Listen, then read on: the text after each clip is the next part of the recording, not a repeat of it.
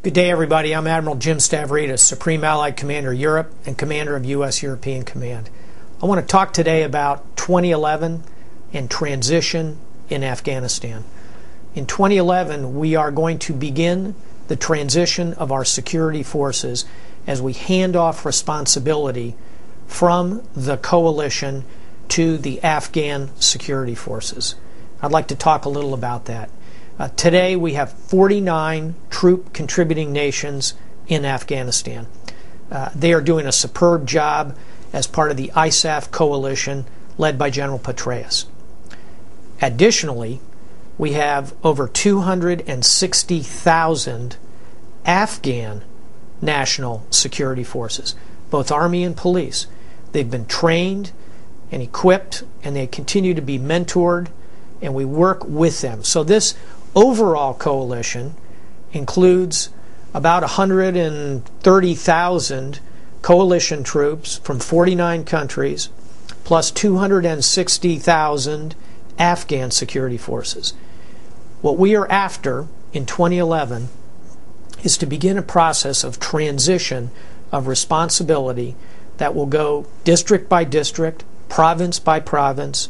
It will include not only territory, but also functions and institutions will be turned over from the coalition, the ISAF coalition, to the Afghan National Security Forces. I'm convinced we can get this underway in 2011.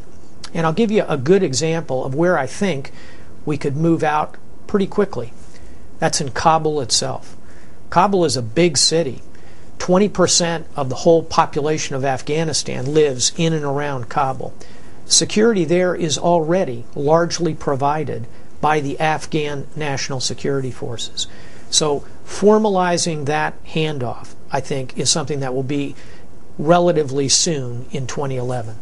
Now, naturally, all of this process must be conditions based. We have made progress. We have stopped the momentum of the Taliban. And I believe that we are making significant progress ourselves, particularly in the South. But it is fragile and it is reversible. So as we undertake this transition process in 2011, I'm very confident it will be successful, and I'm also confident it will be careful and conditions based. The end date goal is that by 2014, President Karzai has said he would like to complete the transition. Now, that doesn't mean complete withdrawal, but it means a transition to Afghan led operations throughout Afghanistan.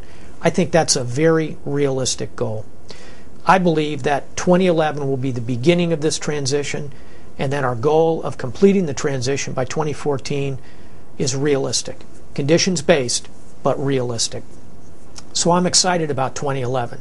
I'm excited about the progress of the NATO training mission Afghanistan which is contributing to the development of these Afghan security forces.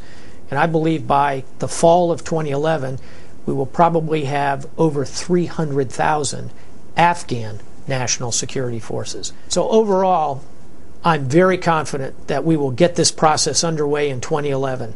We've signed up to that in the Lisbon uh, summit and in the NATO strategic concept moving forward. These ideas of comprehensive approach is really the foundation piece of this transition in Afghanistan. 2011 is going to be a very big year, and I believe a critical year as we get this transition underway. Thank you very much.